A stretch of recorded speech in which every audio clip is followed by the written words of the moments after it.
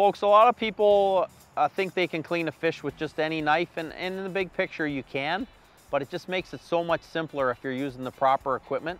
This is a traditional kitchen knife. Notice the obvious differences right off the bat. That long, narrow sweeping blade, that's for cleaning different size fish. You're gonna have small fish, larger fish. No fish are exactly the same size. So that, that long, narrow sweeping blade, it makes it more versatile for cleaning different things. The biggest difference between a conventional kitchen knife and a fillet knife is the stiffness of the blade. That thing is pretty much no flex. This one flexes all kinds for going around bone, cutting through bone. The main parts of the, of the fillet knife that make it uh, the right candidate for the job is you have that nice slender sloping tip for making those tiny little cuts and cutting in small intricate areas, taking out cheeks, following around the backbone. You have the middle section, which is nice for, for nice, long, even cuts. And you have down here in front of what this is called the hilt. The hilt is, is the strongest part of the knife.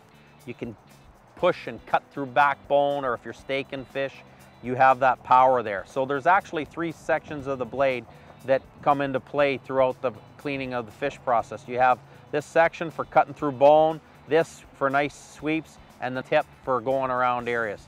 Um, the other thing to consider when looking for a knife, I like these uh, with the molded grips. That's a knurled grip when it's slippery and slimy. You want to find the knife is going to fit in your hand. You don't want fingers overhanging or something like that. Fit within the hilt and the butt so it's in your hand and it's under control at all times. So look for that flexible blade, nice sharp edge, flexible tip, and a nice handle that fits firm in your hand and you'll be fine. No matter what species you're fishing for, Rapala makes a knife that'll cover it. Largest salmon, right down to the smallest panfish. They have them in stainless steel, Teflon coating, and the new Easy, Easy Glide. They got you covered. Question I get asked a lot of times is when should you sharpen your knife? Uh, there is no short answer to that. There's not an actual time frame, but the best thing to do is sharpen your knife before it actually gets dull. So after a few fish, just run it over the steel. This is a diamond steel, also a Rapala product. Just a couple nice, gentle sweeps. Nothing crazy, don't push too hard, and just maintain that edge. So if you're cleaning the fish and going around the bones, obviously your knife's gonna last a lot longer, your edge. If you're cutting through the rib bones, that's gonna make a difference. Just run it over the steel every three or four fish, and it's just a nice, gentle, rolling motion. And be sure you do the tip, because all parts of the knife are being used when you're cleaning the fish. This also has the guard here, so you're safe from coming all the way through.